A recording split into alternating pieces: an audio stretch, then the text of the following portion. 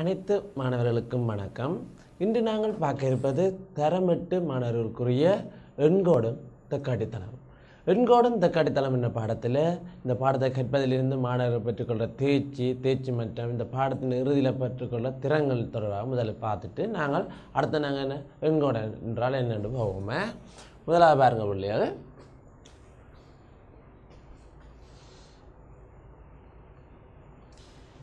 எண்கோடன் தக்காடித்தனம் என்ற பாடத்தை கேட்பதன் மூலம் மாணவர்கள் பெற்றுக்கொள்ளும் தேர்ச்சி பல்வேறு முறைகளை ஆராய்வதன் மூலம் இரண்டு மாறிகளுக்கு இடையில் காணப்படும் தொடர்பினை இலகுவாக வழிகாட்டுவார். தேர்ச்சி மட்டம் பின்னங்கள் தசமங்கள் என்பவற்றை ஒப்பிடுவதற்கு எண்கோடுகளை உபயோகிப்பார். ரெண்டாவது தேர்ச்சி மட்டம் மாறியொன்றின் இயல்புகளை வரைவு மூலம் வரைந்து காட்டுவார். மூன்றாவது தேர்ச்சி தக்காட்டித்தளத்தின் மீது அமைவிடங்களை குறித்து காட்டுவார். ஆகிய மூன்று தேர்ச்சி மட்டங்களை மாணவர்கள் இறுதியில் பெற்றுக்கொள்வார்கள் அடுத்தது இப்பாடத்தினை கற்பதன் மூலம் மாணவர்கள் பெற்றுக்கொள்கிற திறன்கள் என்றது. எண்கோட்டின் மீது பின்னங்களையும் ஒரு தசமதானத்தை கொண்ட தசம எண்களையும் வகை குறிப்பதற்கும் அடுத்த திறன் என்ன? எண்கோட்டை பயன்படுத்தி பின்னங்களையும் தசமங்களையும் ஒப்பிட்டு பார்ப்பதற்கு. அதாவது எண்கோட்டை பயன்படுத்தி பின்னங்களையும் ரெண்டு பின்னங்கள் என்ற எது பெரிய பின்னம் எது சிறிய பின்னம் என்ற ஒப்பிட்டு பார்ப்பதற்கும் தசமதானங்களையும் அவ்வாறு ஒப்பிட்டு பார்ப்பதற்கும் பயன்படுத்தலாம். அடுத்த அச்சரங்களை கொண்ட சமநிலைகளை எண்கோட்டை மூலம் வகைப்படுத்தலாம் இப்போ சமநிலை ஒன்றை நீங்கள் எண்கோட்டில் எவ்வாறு வகை குறிப்பது தொடர்பாகவும் எண்கோட்டின் மீது வகைகுறிக்கப்பட்ட சமநிலைகளை அச்சரணைய சமநிலையால் எடுத்துரைப்பேன் அதாவது எண்கோட்டில் குறிக்கப்பட்டிருக்கிற ஒரு சமநிலையை எவ்வாறு அச்சரணை சமநிலையை எடுத்துரைப்பது என்பது தொடர்பாகவும் ஆள்கூட்டு தளத்தின் மீது புள்ளியின் ஆள்கூறுகளை வரிசைப்படுத்தப்பட்ட சோடியாக எழுதுவதற்கும் ஆள்கூட்டு தளத்தில் அதன் அச்சுக்களை சமாந்தரமான நேர்கோடுகள் என்ப நேர்கோடுகளின் வரைவுகளை வரைவதற்கும் போன்ற ஆற்றல்களை இந்த பாடத்தின் இறுதியில் நீங்கள் இந்த பாடம் முடிஞ்சா போகிறது பெற்றுக்கொள்ளக்கூடியதாக இருக்குது முதலாவது நாங்கள் பார்ப்போம் பிள்ளைகள். முதலாவது நாங்கள் பார்க்க இருப்பது எண்கோடு. எண்கோடு வரையும் போது க கடைப்பிடிக்க வேண்டிய உத்திகள் எண்கோடு வரைய உபகரணங்கள் வரைய வரைவது தொடர்பாகவும் மற்ற சமநிலைகள் தொடர்பாகவும் முதல்ல ஆராய்ந்துட்டு பாடத்துக்கு போவோம். பாருங்கள் பிள்ளைகள் எண்கோடு வரையக்க எண்கோடு வரையும் போது. முதலாவது ஒரு நேர்கோடு ஒன்று போடுவோம். அந்த நேர்கோட்டின் வலது பக்க முனையில் ஒரு அம்புக்குறி போட வேண்டும் மற்ற சம இடைவெளியில் கோடுகள் வரையப்பட வேண்டும். உங்களை பு- புத்தகம் அதாவது உங்களோட கணித கோப்பியில் நீங்கள் அந்த பெட்டிகளை நீங்கள் ரெண்டு பெட்டியை ஒரு ஒரு அழகாக எடுத்துக்கொண்டு நாங்கள் வரையக்கூடியதாக இருக்கோம். ஆகவே நாங்கள் அதில் புள்ளியல் குறிக்கும் போது இடமிருந்து இடமிருந்து பலன் நோக்கியதாக எண்கள் அதிகரித்து செல்லும். அதாவது இதில் பூஜ்ஜியம் ஒன்று ரெண்டு மூன்று என்ற நேர் இலக்கங்கள் இங்கே விளப்பக்காகவும் பூஜ்ஜியத்துக்கு இங்கே மர இலக்கங்கள் மர ஒன்று மர ரெண்டு மர மூன்று மர நாலு ஆகிய இலக்கங்கள் பூஜ்ஜியத்துக்கு இடப்பக்கம் அமையக்கூடியதாக இருக்கும். அடுத்து நான் சொல்ல போன்றேன் அடுத்தது எங்கள் இடமிருந்து மனம் நோக்கியதாக அதிகரித்து செல்லும். அதாவது ஒன்றை விட ரெண்டு பெரிதாக இருக்கும். பெரிது சிறிது குறியீடு. இந்த சமநிலை குறியீடில் இவர் சமன் என்று சொல்லுவோம். மற்றது இது இந்த குறுகிய பகுதி அதாவது கூர்முனை சிறியதாக சிறிய இலக்கத்தை குறிப்பதாகவும் சிறிய இலக்கத்தை குறிப்பதாகவும் இந்த அகண்ட பெரிய பகுதி அது பெரிய பெரிய இலக்கத்தை குறிப்பதாகவும் அமையும். இது அவ்வாறு மாறி வரும். என்ன? மூன்று சமநிலை குறியீடுகள் இருக்கு ஒன்று சமன் மற்ற பெரிது அது சிறிது. ஆகிய மூன்று குறியீடுகள் இருக்குது அதை பயன்படுத்தி கொண்டு நாங்கள் எண்களை இலக்கங்களை ஒப்பிட்டு பார்க்கலாம். ஆகவே ஒன்றை விட ரெண்டு பெரிது. ஆகவே அகன்ற முனை ரெண்டை நோக்கி தான் இருக்கும் அடுத்த ஒரு உதாரணம் பார்ப்போம். ரெண்டாவது உதாரணம் சமநிலை குறியீடுகளை பார்த்து பார்ப்போம். மர ஒன்றை விட மர ரெண்டு மர ரெண்டு. ஆகவே மர ரெண்டு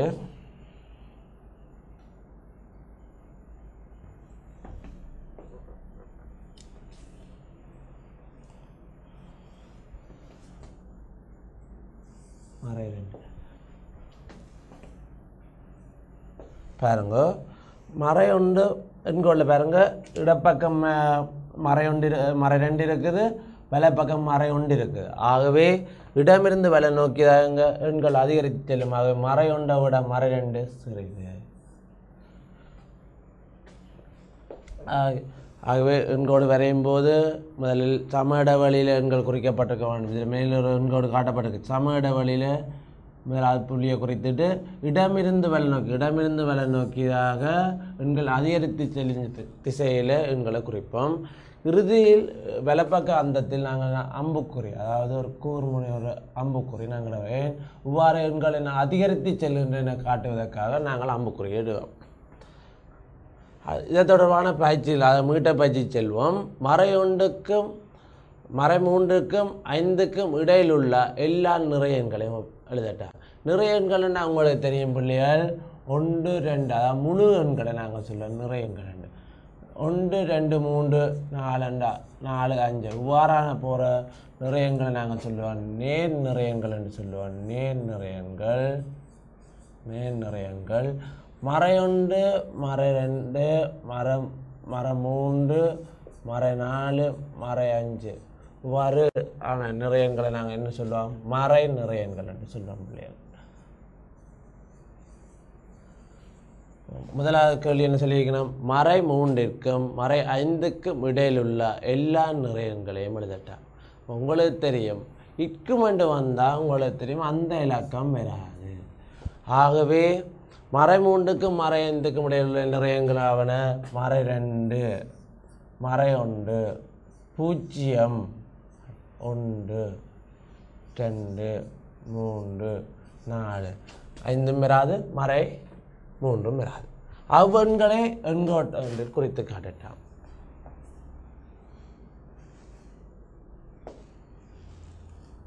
எண்கோட ஒன்றில் புள்ளியல் குறிப்பது தொடர்பாக நாங்கள் இப்போ பார்ப்போம். எண்கோடு ஒன்று வரைந்து விட்டு பூஜ்ஜியம் ஒன்று இரண்டு மூன்று நான்கு. இங்கே மறை ஒன்று மறை ரெண்டு. எண்கோட்டு வந்து புள்ளி குறைக்கும் போது கவனிக்க வேண்டிய விடயம் உதாரணமாக பி சமன் நான்கு கியூ சமன் மறை மூன்று ஆர் சமன் பூஜ்ஜியம் டி சமன் ஒன்று. ஆகிய நான்கு இலக்கங்கள் புள்ளிகளை குறிக்க போன்றோம் முதலாவது புள்ளி குறிக்கும் போது கவனிக்க வேண்டிய விடயம் அந்த கோட்டில் அதாவது புள்ளி குறிக்க வேண்டிய கோட்டில் அந்த முதலாக புள்ளியை குறிப்போம் பீசமன் நாலுன்றதில் நாங்கள் அதை அடையாளப்படுத்துறதுக்கு ஒரு புள்ளியை குறிப்போம். அடுத்து நாங்கள் என்ன சொல்லுவோம்? அதன் ப அருகே நாங்கள் கேபிட்டல் எழுத்துல பிள்ளையை அடுத்த பார்ப்போம். கியூ சமன் மறைமூண்டு ஆகவே கியூ சமன் மறைமூண்டு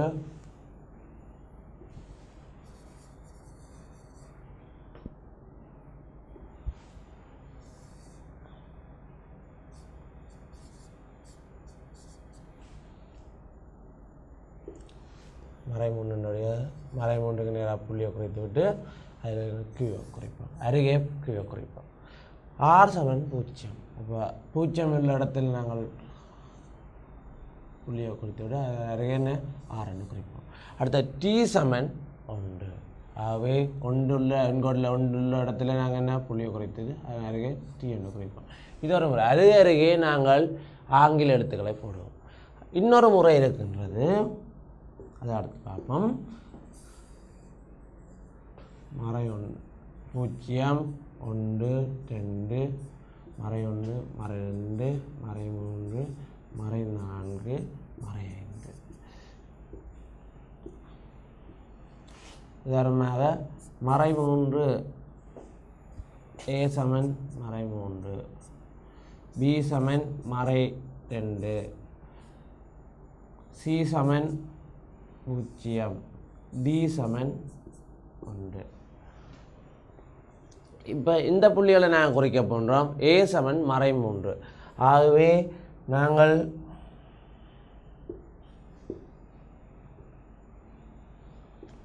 பாருங்க.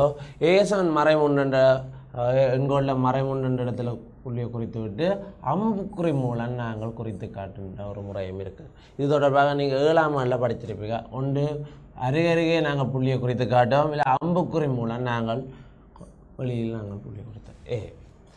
பி என்றது எந்த? பி மறை இரண்டு. ஆகவே பி மறை ரெண்டில் நாங்கள் புள்ளியை குறித்து விட்டு அங்கே வெளியில் அதாவது வெளி வெளியில் நாங்கள் பி என்று போடுவோம் அடுத்த சி சமன் பூச்சி பூஜ்ஜியம் ஆகவே பூஜ்ஜியம் உள்ள இடத்துல இருந்து வரப்போகுது சி. ஆகவே அம்புக்குறி மூலம் நாங்கள் சி என்று குறிப்போம். அது டி சமன் ஒன்று. எண்களில் ஒன்று இருக்கிற இடத்துல நாங்கள் என்ன சொல்லுவோம்?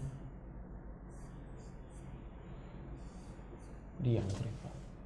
இவ்வாறு நாங்கள் எண்களை நாங்கள் குறித்து காட்டலாம். இப்போ நாங்கள் பயிற்சிக்கு செல்வோம்.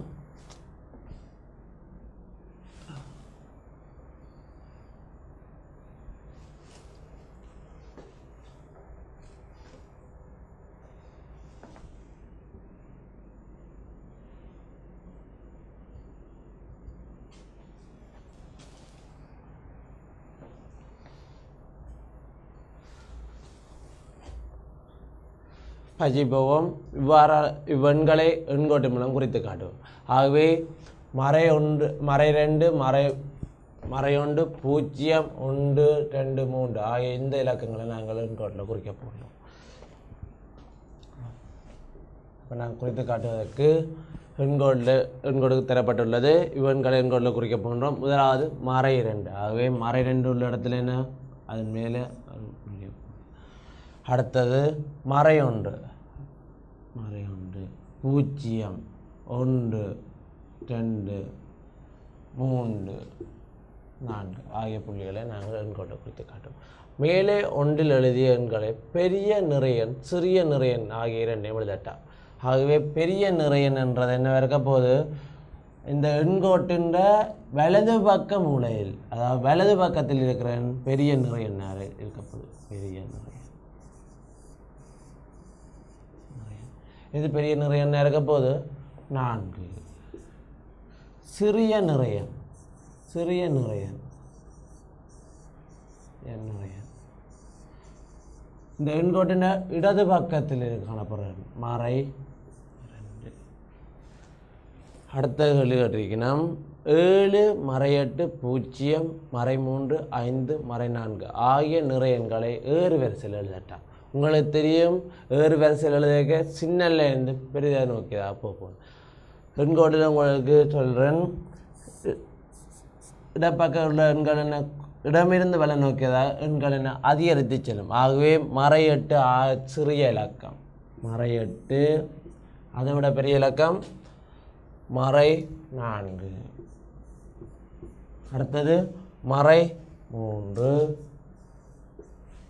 இது பாருங்க அடுத்தது பூஜ்ஜியம். அடுத்து அஞ்சும் இருக்குது ஏழும் இருக்குது ஆகவே அஞ்சு அஞ்சு சின்ன இலக்கம் அதை விட ஏழு ஆகியவாறு என்ன நடக்க போகுது? ஏறு வரிசையில் எழுதுவோம் ஏறு வரிசை.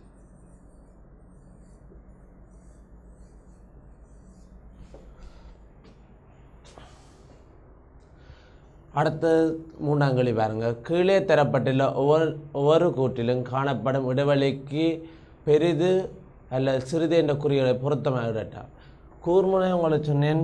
கூர்முனை சிறிய பகுதியாயும் விரி விரிந்த அதாவது அகன்ற முனை அப்பம் என பெரிய இலக்கங்களை குறிக்கக்கூடியதாக இருக்க போகுது ஐந்து முதலாம் வாப்பம் ஐந்து மறை ரெண்டு ஆகவே ஐந்து பெரிய ஐந்து பெரிது ஆகவே ஐந்து பெரிது மறை ரெண்டிலும் அடுத்த ரெண்டாம் கேள்வி மூன்றுக்கும் பூச்சத்தையும் ஒப்பிடட்டாம்.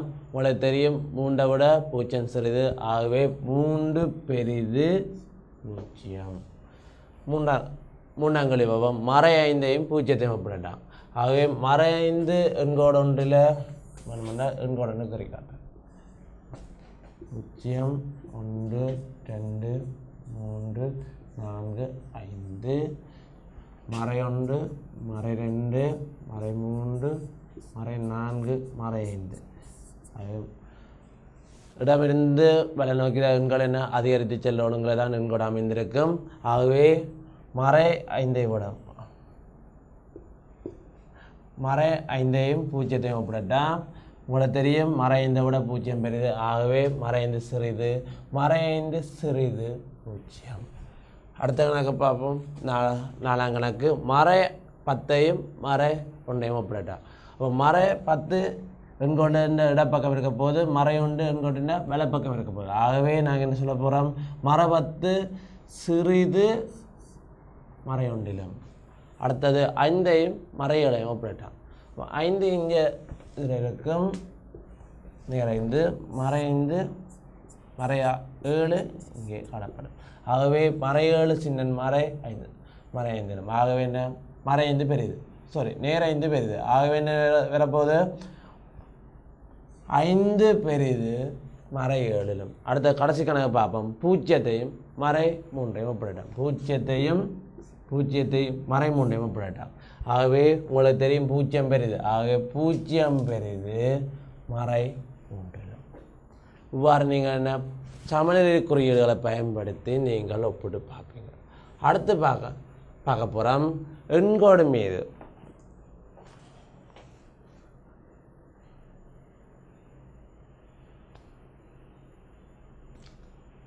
எண்கோடு மீது இதுவரை நாங்கள் பார்த்து நாங்கள் எண்கோடு மீது ஒரு நேர் நிறையங்கள் மறை நிறையங்களை குறிப்பதுறவாக பார்த்தோம். அடுத்து நாங்கள் பார்க்க போகிறோம் எண்கோடு மீது தசமங்களையும் பின்னங்களையும் ஒப்பிடுதல் குறித்தல் அல்லது பின்ன எண்கோட்டில் குறிக்கப்பட்ட தசமங்கள் பின்னங்களை எழுதுறது தொடர்பாகவும் எண்கோட்டு எண்கோட்டில் தசம பின்னங்களை குறித்தல் தொடர்பாகவும் அடுத்து நாங்கள் பார்ப்போம். ஒரு சேப்பாடு ஒன்று தந்திருக்கிறோம். எண்கோடு மீது பின்னங்களையும் தசமங்களையும் வகை குறித்த சதுரக்கோட்டு உங்கள் கொப்பியில் இருக்கிற சதுரக்கோட்டத்தாளில் ஐந்து பிரிவுகளை கொண்ட ஓர் அலகாக அதாவது ஐந்து பிரிவுகளை கொண்ட பிரிவுகளை ஓர் அலகாக கொண்டு கீழே தரப்பட்டுள்ள முறையில்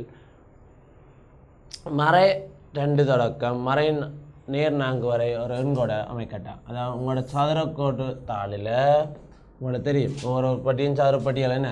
ஆகவே நடுவில் பூஜ்ஜியம் ஒன்று இரண்டு மூன்று நான்கு. ஆகிய நேர் இலக்கங்கள் கோணம் இங்கே மறை ஒன்று மறை இரண்டு. ஆகிய மறை இலக்கங்கள் காணப்படும். இப்போ உங்களுக்கு இதில் சொல்லியிருக்கணும் என்னென்னா ஐந்து பிரிவுகளே ஒரு அழகாக அதாவது உங்களோட சதுர உட்பட்டி இருக்குன்னு தானே? உங்களோட சதுர உட்பட்டியில் ஒரு சின்ன சின்ன கட்டங்கள் இருக்கு. ஆகவே இந்த சதுர உட்பட்டியில் இருக்கிற ஐந்து கட்டங்களை இப்படி இருக்க சதுர உட்பட்டியில் ஐந்து கட்டங்கள். அப்போ இதில் ஒன்று வார இருந்தால் இங்கே வரும்? ஒன்று ரெண்டு மூன்று நான்கு ஐந்து. அடுத்தது இங்கே வரும்? இதுதான் ரெண்டு வரும். இவ்வாறு நீங்கள் என்ன? சதுர ஒரு கோப்பையில் கருவீங்க. மூலம் ஓரளவு பத்து சம ஆகவே நீங்கள் நீ என்ன செய்யட்டான்? சின்ன சின்ன பிரிவுகளாக பிரிக்கட்டான். அடுத்து இதில் பிரித்து காட்டியிருக்கிறேன் பாருங்கோ. ஒவ்வொரு டைம் என்ன சின்ன சின்ன பிரிவுகளாக பிரிக்க ஆகவே பூஜ்ஜியத்துக்கு முன்னாடி எத்தனை சின்ன இலக்கங்கள் வரும்? ஒன்று ரெண்டு மூன்று நான்கு ஒன்று ரெண்டு மூன்று நான்கு ஐந்து ஆறு ஏழு எட்டு ஒன்பது பத்து. ஆகிய சின்ன சின்ன பத்து கோடுகள் இருக்கும். இது உங்களுக்கு இலவாக சொல்கிறேன்டா உங்களோட ரூல் அடிமட்டம் இருக்குது தானே அடிமட்டத்தில் சின்ன சின்ன ஒரு சென்டிமீட்டர் கிடையாது பத்து சின்ன சின்ன கோடுகள் இருக்கும். அதே மாதிரி நாங்கள் இதில் பிடித்து காட்ட போகிறோம் அப்போ அடுத்த சொல்லியிருக்கணும் அடுத்துள்ள நிறையங்கள் ரெண்டு காம மூன்றையும் பேருக்கு நடுவில் அமைந்துள்ள புள்ளியை எண்கோட்டுமே மேல் குறிக்கட்டேன் முதலாவது ரெண்டு காம மூன்று இங்கே இருக்கு? ரெண்டு மூன்று. இவைக்கு நடுவில் இருக்கிற எண்களை எண்கோட்டில் குறித்து காட்டிட்டோம் அதை பி என்று பெயரிட்டோம் ஆகவே ரெண்டுக்கு நடுவில் இருக்கிற இலக்கம் வேணும் ஒன்று ரெண்டு மூன்று நான்கு ஐந்து. ஆகவே இந்த புள்ளி இந்த இந்த புள்ளியை நாங்கள் பி என்று குறிக்கட்டோம். அடுத்தது இது சொல்லியிருக்கிறோம் பி பி குறிக்கும் எஞ்சாது ஆகவே ரெண்டுக்கு நடுவில் இருக்கிறதால பி குறிக்கிறன பி சமன் என்ன இருக்க போகுது ரெண்டு தசம் ஐந்து. அடுத்து பார்ப்போம். மறை அரை. அடுத்த ஒன்று தசம் அஞ்சு. மறை ஒன்று தசம் அஞ்சு. ஆகிய எண்களை எண்கோடு மூலம் குறித்து அவற்றின் அவற்றின் முறையே பி கியூஆர் என பெயரிட்டான் அப்போ அடுத்து நாங்கள் குறிக்க போகிறோம் இதை நான் டீ என்று போகிறேன் மேலே ஒன்று பி குறித்தால் நான் இதை டீ என்று போகிறேன் ஆகவே மறை அரை அரைன்னா உங்களுக்கு தெரியும்? பூச்சி அரைன்ற என்ன இருக்க போகுது? சைவ தசம் அஞ்சு தானே? அதாவது மறை சைவ தசம் அஞ்சு இதை நாங்கள் எண்கொள்ள குறித்து காட்ட போகிறோம் பாருங்க பூஜ்ஜியத்துக்கும் ஒன்றுக்கும் இடையில் இருக்க போது ஆகவே ஒன்று ரெண்டு மூன்று நான்கு ஐந்து. இந்த இடத்த நாங்கள் என்ன குறிக்க போகிறோம் டி குறிப்போம் அடுத்து சொல்லியிருக்கணும் என்ன? ஒன்று தசம் அஞ்சு ஒன்று தசம் அஞ்சுண்டா என்ன? ஒன்றுக்கும் ரெண்டுக்கும் இடையில. ஒன்றுக்கும் ரெண்டுக்கும் இடையில இருக்க போது ஒன்று தசம் அஞ்சு ஒன்று ரெண்டு மூன்று நான்கு ஐந்து. ஆகவே இவரை நான் என்னட்டு குறிக்க போகிறேன் கியூ என்று குறிக்க போகிறேன் அடுத்து ஆர் ஆர்ன்றது என்ன? மறை ஒன்று தசம் அஞ்சு ஆகவே ஒன்று மறை ஒன்றுக்கும் மறை ரெண்டுக்கும் இடையில் அமைந்திருக்கும். ஆகவே மறை ஒன்றுக்கு அடுத்த ஒன்று ரெண்டு மூன்று நான்கு ஐந்து. ஆகவே இவர் என்னென்னு சொல்லுவான் ஆறு என்று குறிப்பான் இரு நிறையங்களுக்கு நடுவில் அமையும் புள்ளி தவிர்ந்து பெருமானது இனம் காணக்கூடிய மற்றொரு புள்ளியை அதன் இரு நிறையங்களுக்கு நடுவில் அமையும் புள்ளி தவிந்த பெருமானத்தை இனங்காணக்கூடிய மற்றொரு புள்ளியை எண்கொள்ள குறித்து காட்டட்டான் அதாவது என்ன சொல்லியிருக்கிறான்? இந்த ரெண்டு புள்ளிக்கு நடுவில் அமையாத வேறொரு புள்ளியை குறிக்கட்டான் அவை நான் இதில் இருக்கிற வேறொரு புள்ளியை குறித்து காட்டப்புறம் புள்ளிகள். பாருங்கோ நான் இதில் இந்த மூன்றுக்கு பக்கத்தில் இருக்கிற புள்ளியை குறித்து காட்டுறேன் இப்போ மூன்றுக்கு பக்கத்தில் இருக்கிற புள்ளியை குறித்து காட்டுக பாருங்க இதில் பத்து பிரிவுகளாக பிரிக்கப்படுது. ஆகவே ஒரு புள்ளி என்ன இருக்க போகுது? சைபர் இந்த என்ன இந்த இடைவெளி எவ்வளோ இருக்க போகுது? சைபர் தசம் உண்டு. ஆகவே அந்த புள்ளி என்ன இருக்க போகுது? மூன்றோட சைபர் தசம் உண்டோ கூட்டும் ஆகவே என்ன இருக்க போகுது? மூன்று தசம் உண்டு. விளங்குதா பிள்ளைகள்? இதே மாதிரி நாங்கள் இஞ்சால குறித்து காட்ட போன்றோம். இதில் வேறுங்க ஏழு. இதில் வேறுங்க ஒன்று ரெண்டு மூன்று நான்கு ஐந்து ஒன்று ரெண்டு மூன்று நான்கு ஐந்து ஆறு ஏழு. ஏழுண்ட இந்த புள்ளியை குறித்து காட்ட போகிறேன்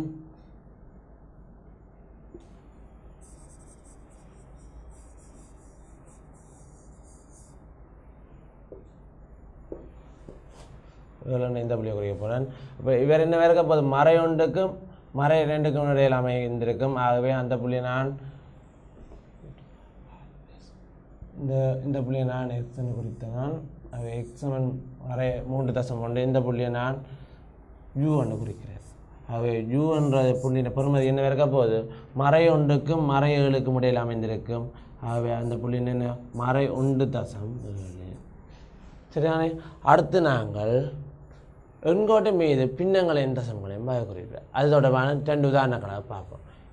ஏ என்ற ஏ பி சி இவற்றை பொறுமதி சைபர் தசம் ரெண்டு.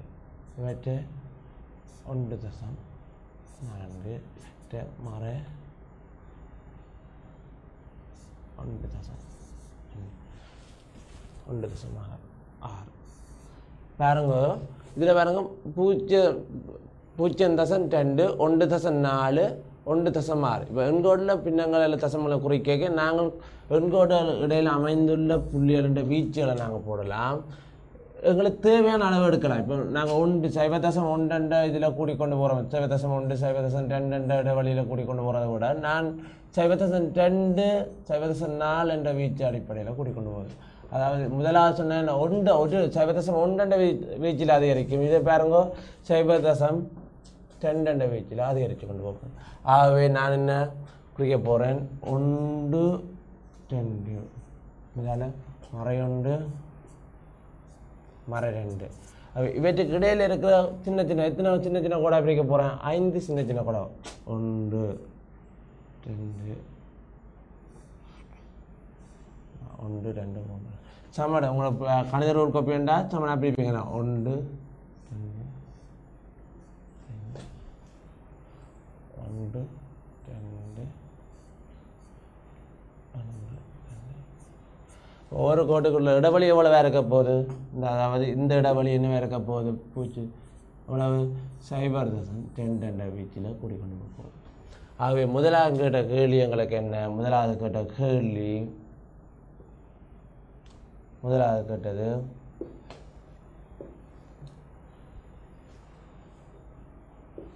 ஏ என்ற புள்ளி பூஜ்ஜியம் தசம் ரெண்டு ஆகவே பூஜ்ஜியம் தசம் ரெண்டு இந்த புள்ளி. ஆகவே வேறையே ஏ என்று குறிப்பான் அடுத்த ரெண்டாவது கேட்டிருக்கேன் பிஎன்றது ஒன்று தசன் நாலு ஆகவே ஒன்றுக்கும் ரெண்டுக்கும் இடையில இருக்க போது எத்தனையாம் கூட இருக்க போது ரெண்டாவது கோடு ஒன்று தசன் நாலு இதை பி என்று குறிப்போம். சி என்ற புள்ளியை பாருங்க. மறை ஒன்று தசம் ஆறு. ஆகவே மறை ஒன்றுக்கும் மறை ரெண்டுக்கும் இடையில் அமைந்திருக்கும். ஆகவே ஒன்று ரெண்டு மூன்றாவது கோடுன்னு என்ன? ஆகவே இவர் சி என்று குறிப்போம்.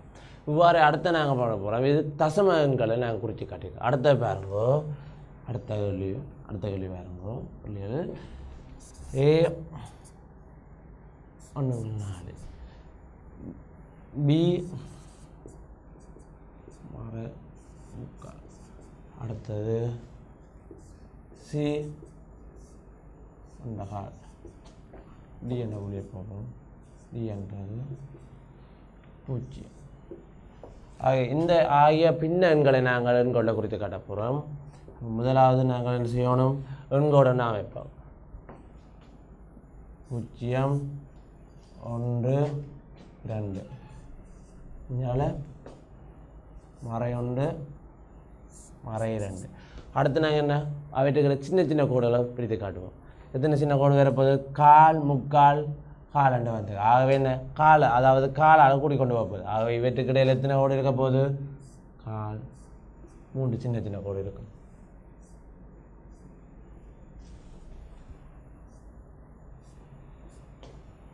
இவ்வாறு நாங்கள் எங்களுக்கு தேவைக்கு ஏற்ற மாதிரி நாங்கள் போட்டுக்கொள்வோம். இப்போ முதலாவது சொல்லியிருக்கிறோம் ஏன்றது கால். அப்போ ஏ என்ற புள்ளி என்னவா இருக்க போகுது? கால். ஆகவே இந்த புள்ளி காலாக இருக்க போகுது. அது நாலாக பிரித்து ஒரு பங்கு தானே? பூஜ்ஜியத்துக்கு மட்டும் கடையில் அடுத்த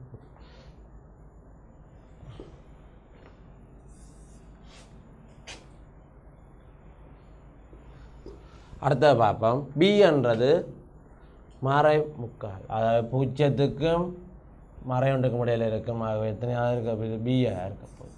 அடுத்த சொல்லியிருக்கணும் சி என்றது ஒண்டகால். ஆகவே ஒன்றுக்கும் ரெண்டுக்கும் இடையில இருப்பினும் எதுக்கிட்ட இருக்க போகுது? ஒண்டகால். இதை நாங்கள் சி என்று குறிப்போம். டி என்ற புள்ளி என்னத்தை குறிக்கிறது பூச்சது ஆகவே டி என்றது இதாக இருக்க போகுது? டி திருப்பின்னு சொல்லுகின்றேன். இதில் புள்ளியை குறித்து விட்டு தான் அது பக்கத்தில் என்ன? எழுத்து எழுதுவோம். அடுத்து பார்ப்போம். இது தொடர்பான பயிற்சியில் போவோம். உருவில் பாருங்கள் இப்போ எண்கோடில் குறிக்கப்பட்டிருக்கு. அதை நாங்கள் என்ன சொல்ல போகிறோம் எழுதி காட்டட்டா. இப்போ முதலாவது சொல்லியிருக்கேன் உருவில் காட்டப்பட்டுள்ள எண்களில் மீது பிக்யூஆர்எக்ஸ் என்னும் புள்ளிகளை குறிக்கப்படும் எண்களை எழுதட்டான் முதலாவது பிக்யூஆர்எக்ஸ் என்ற ஆகிய புள்ளிகள் எங்கு அமைந்திருக்கின்றதை பார்ப்போம். அதுவே மறை உண்டு மறை ரெண்டு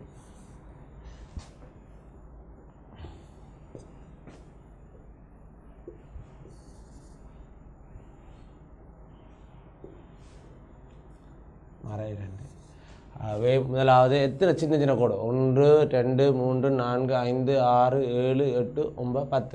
பத்து சிறிய கோடுகளாக பிரிக்கப்படும் ஆகவே ஒரு ஒரு கோட்டு சின்ன கோட்டுக்கு இடப்பட்ட இடைவெளி எவ்வளோ இருக்க போகுது? சைபர் தசம் உண்டு. ஆகவே முதலாவது பிக்யூஆர் பிக்யூஆர்எக்ஸ் ஒன்றுலேருந்து பார்த்து கொண்டு போவோம். முதலாக பி பார்ப்போம் பி என்ற புள்ளி அங்கே மறை ஒன்றுக்கும் மறை ரெண்டுக்கும் இடையில இருக்குது. மறை ஒன்றுலேருந்து எத்தனை எத்தனை சின்ன தா- தாடம் தள்ளி இருக்குது? ஒன்று ரெண்டு மூன்று நாலு ஐந்து. ஆகவே மறை ஒன்று தசம் ஐந்து. அடுத்தது கியூ என்ற புள்ளியை பாருங்க. பூஜ்ஜியத்துக்கு மறை ஒன்றுக்கும் இடையில இருக்குது. அவரும் என்ன? ஐந்து கோடுகள் தள்ளி இருக்குது ஆகவே கியூன்றது என்ன இருக்க போகுது? பூஜ்ஜியம் தசம் அஞ்சு என்ன பூஜ்ஜியம்? மறை பூஜ்ஜியம் தசம் அஞ்சு அடுத்த புள்ளியில் சொல்லுங்கள் நீங்கள்.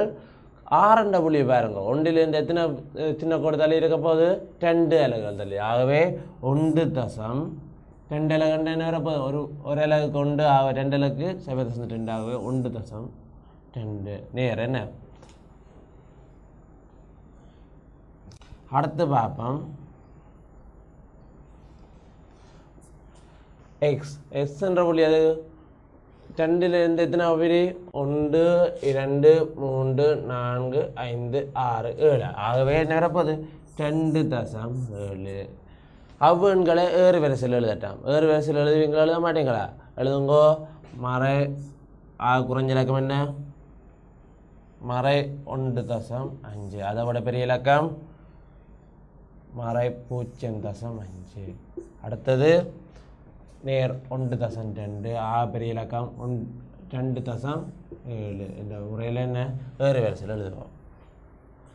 அடுத்த இது தொடர்பான பயிற்சிகள் ஈடுபடுவோம். கீழே தரப்பட்ட எண்கோட்டின் மீது ஏபிசிடிஇஎஃப் பி e, என்பதால் குறிக்கப்படும் எண்களை எழுதட்டாம் அப்போ முதலாவது A B C D E F E F e, முதலாவது ஏ என்ற புள்ளியை பார்ப்போம். ஏன்னு ஏ என்ற புள்ளியை பாருங்கோ. முதலாவது அந்த ரெண்டுக்கும் மர பூஜ்ஜியத்துக்கும் ஒன்றுக்கும் இடையில எத்தனை சிறிய கோடுகள் பிரிக்கப்பட்டிருக்கின்றன பார்ப்போம். ஆகவே ஒன்று ரெண்டு மூன்று நான்கு ஐந்து. ஆகவே எத்தனை சின்ன கோடுகள் நாலு என்று பிரிக்கப்பட்டிருக்குது. ஆகவே எத்தனை ஒரு பெட்டிக்கிடையில் எவ்வளோ இடைவெளி இருக்குமெண்டா? பூஜ்ஜியம் தசம் ரெண்டு.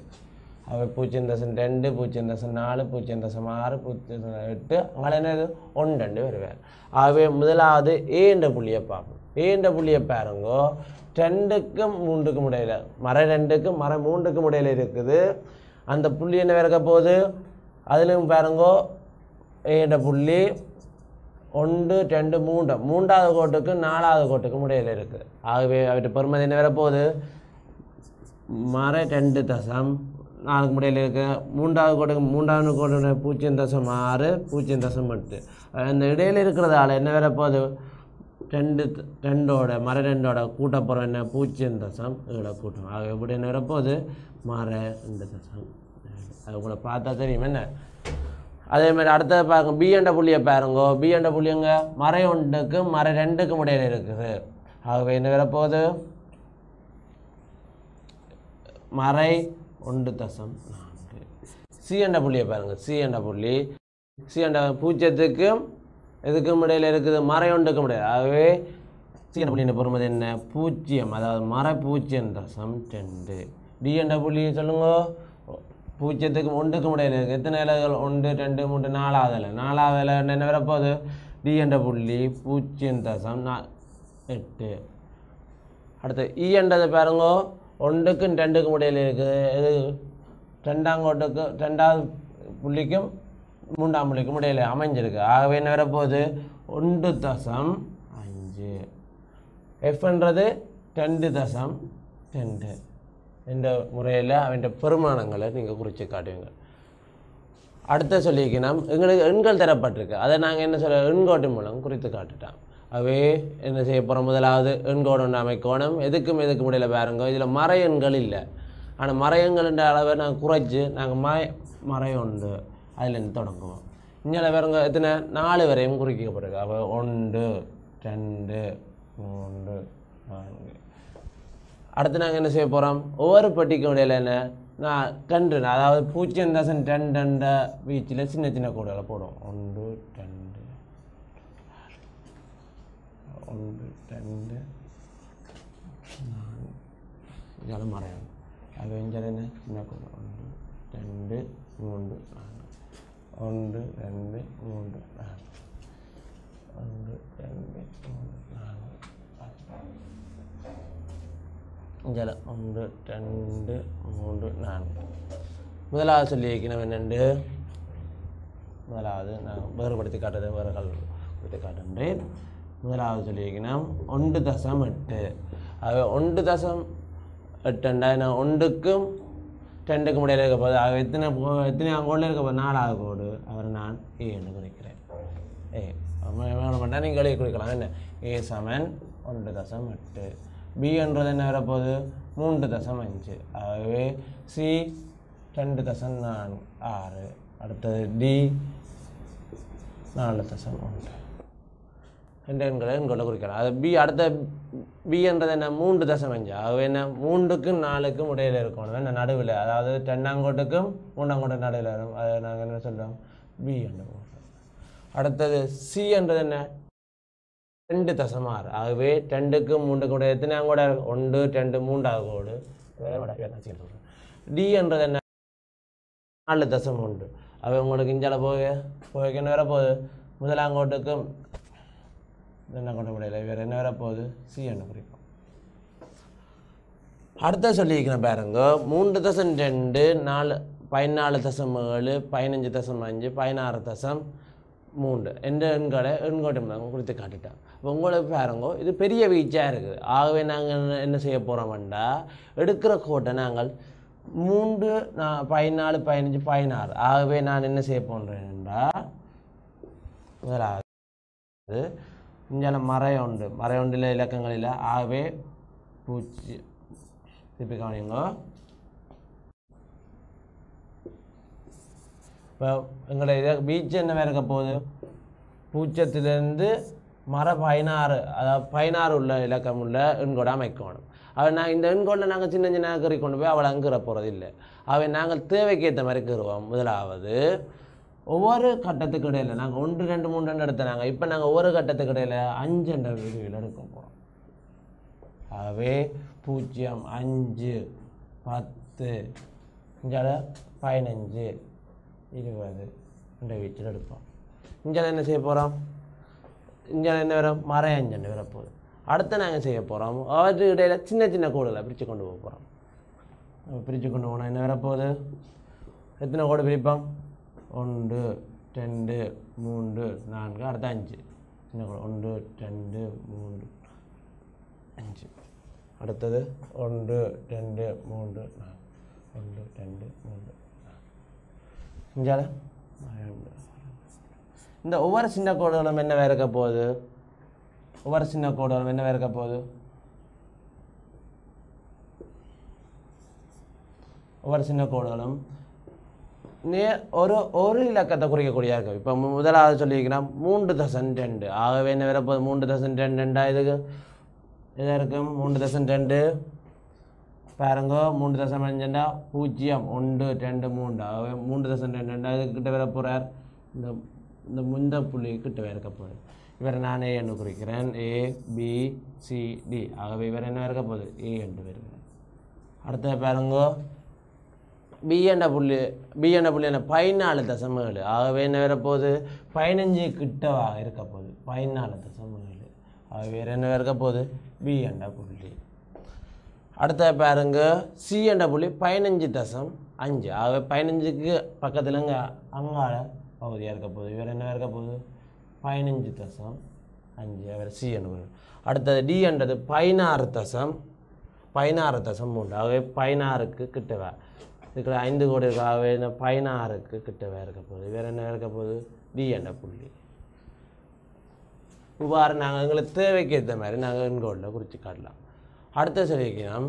பாருங்கள் டென்னு கலந்து தந்திருக்கேன் எண்கோடை பயன்படுத்தி கீழே தரப்பட்டுள்ள ஒவ்வொரு தொகுதியிலும் உள்ள எண்களை ஏறு வரிசையில் எழுதிட்டோம். முதலாவது எண்கோட்டை கீறி நாங்கள் அதில் முதல்ல பின் எண்ணுங்களை குறித்துட்டு நாங்கள் அதில் பிறகு ஏறு வரிசையில் எழுதுவோம். பூஜ்ஜியம் ஒன்று ரெண்டு மூன்று.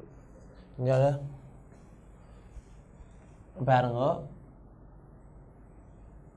பாருங்க எங்களுக்கு இதில் நான் மாறி குறித்தம் நேருள்ள எண்கள் நிறைய எழுதிட்டேன். ஆனால் பாருங்க மறை ரெண்டு மறை மூன்றும் மறை ஒன்று தசம் அஞ்சு ஆகிய இலக்கங்கள் வந்ததால் நான் இப்போ என்ன செய்ய போகிறேன்டா இஞ்சால மறை நாலு மறை மூன்று மறை ரெண்டு மறை ஒன்று பூஜ்ஜியம் ஒன்று ஒன்று நாலு ரெண்டு. ஆகிய இலக்கங்களை குறிக்கிறேன் அடுத்து நாங்கள் என்ன செய்ய போகிறோம் அவற்றுக்கிடையில் பாருங்கள் எல்லாம் அரையில் கூடி கொண்டு போவாங்க. ஒன்றரை. அஹ் ஒன்று தசம். ஆகவே இவற்றுக்கிடையில் ஒரு கோடை போட்டு நாங்கள் சின்ன கோடை அப்படி இந்த சிறிய கோடை என்ன இருக்க போகுது? அரை அரை மடங்களாக இருக்க போகுது. ஆகவே நான் இதை அடுத்து என்ன சொல்கிறேன் புள்ளியில் குறிக்கட்டாம். புள்ளியை குறிக்கட்டாம். என்னுடைய இவர் என்ன இருக்கட்டாம் முதலாவது மறை ரெண்டு. ஆகவே இவர் என்ன இருக்க போகுது? மறை ரெண்டு. மாறி ரெண்டு அடுத்து என்ன சொல்லியிருக்கோம்? ஒன்றரை. அதாவது ஒன்றுக்கும் ரெண்டுக்கும் இடையில் இருக்கும். ஆகவே வேறு என்ன இருக்க போகுது? ஒன்றரை. அடுத்த மூன்றாவது மறை ஒன்று தசம் அஞ்சு ஒன்று தசம் அஞ்சு என்ன? மறை ஒன்றுக்கும் மறை எத்தனைக்கும் இடையில இருக்க போகுது? மறை ரெண்டுக்கும் இடையில் இருக்கிறது. வேறு நான் என்ன சொல்லுவோம்? ஒன்று தசம் அஞ்சு அடுத்தது மூன்று. அதாவது மறை மூன்று. ஆகும் மறை மூன்று இடையில் இருக்குது அது அடுத்த கேட்டு எங்களை நாங்கள் இதில் என்ன? எண்கோட்டில் ஏறு வரிசைப்படுத்தி எழுதி போட்டு எண்கோட்டில் குறித்து போட்டு ஏறு வரிசைப்படுத்திட்டாங்க அப்போ ஏறு வரிசைப்படுத்த தெரியும் உங்களுக்கு. இடமிருந்து பலன் நோக்கி என்ன நடக்க போகுது? எண்கள் அதிகரிச்சிடும் ஆக மரம் உண்டை விட மர ரெண்டு பெரியது. மர ரெண்டை விட என்ன வரப்போகுது? மறை மறை ஒன்று தசம் அஞ்சு பெரியது. ஒன்று தசம் அஞ்சை விட என்ன? நேர். என்ன இருக்க போகுது? ஒன்றரை பெரியது. இவ்வாறு நாங்கள் ஏறு எழுதுவோம் அடுத்தது பாருங்க பிள்ளைகள் ரெண்டு தசம் அஞ்சு மறை பூஜ்ஜியம் தசம் அஞ்சு அஞ்சு தசம் ரெண்டு. அதாவது மறை அஞ்சு தசம் ரெண்டு அடுத்தது மூண்ட காலன்னு துரி குறிக்கப்பட்டிருக்கு. ஆகவே இவற்றை நாங்கள் எண்கொள்ள குறிக்க முதலாவது என்ன செய்வோம்? முதல்ல எதுக்கும் எதுக்கும் இடையில இருக்குது பாருங்க மறையில் பாருங்க மறை அஞ்சு வரையும் இருக்குது அது நேரில் பாருங்க மூண்டை முக்கால் வரையும் இருக்குது ஆகவே எங்களுக்கு என்ன? நடுவில் நாங்கள் பூச்சியத்தை போடுவோம் ஆகவே இஞ்சால ஒன்று ரெண்டு மூன்று நான்கு ஐந்து. ஐந்து. மறையில் வேறு என்ன அஞ்சால் அதே மாதிரி அங்கால என்ன வரப்போகுது? மறை ஒன்று நேர் நேரில் வரும். ஒன்று ரெண்டு மூன்று நான்கு அஞ்சு. அடுத்து நாங்கள் என்ன செய்யலாம் அவற்றுக்கு இடையில் குறிக்கிற சின்ன அதாவது பாதி பாதியாக பிரிப்போம். சின்ன சின்ன பிரிப்போம். அந்த பாதி என்ன இருக்க போகுது? அது நேரமானது இப்போ சைவருக்கு ஒன்று கூட என்ன வரப்போகுது சைவ தசம் அஞ்சு. ஒன்றுக்கு ரெண்டு கூட என்ன வரப்போகுது ஒன்று தசம் அஞ்சு. ஆக சின்ன சின்ன கூட. ஒரு ஓடு உண்டா சரி பிரிப்போம் அப்போ இதில் நாங்கள் புள்ளியை குறிப்போம். முதலாவது குறிக்கப்பட்ட குறிக்க குறிப்போம்.